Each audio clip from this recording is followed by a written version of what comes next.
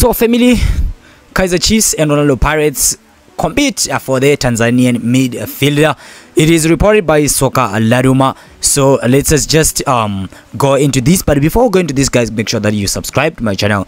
So after just a few games in PSL since joining Chippa United at the beginning of the new season, uh, Baraka Majogoro has already uh, one of the wanted lists and the two Soweto Giants. Soccer Laduma has previously uh, noted how Kaizer Chiefs may be monitoring uh, the uh, player. So we still remember it was just only uh, Kaizer Chiefs who had uh, shown interest first uh, in the uh, player, but now Pirates are also monitoring him. He is exceptionally a midfielder. Uh, most people compare him with Andile Jali uh, in his prime.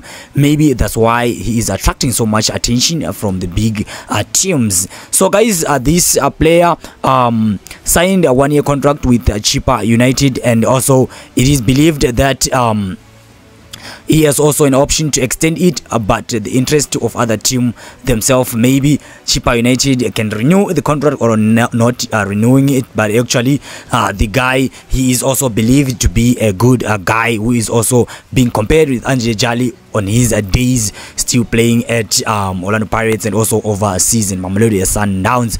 So uh, he's also 26 year old. He's also a defensive uh, midfielder so with your understanding which club do you think this player is needed? And also um, check his height. Is too uh, tall. So I don't think uh, that he might be struggling then defensive midfielder. This is this guys I will see you on my next lovely video. Peace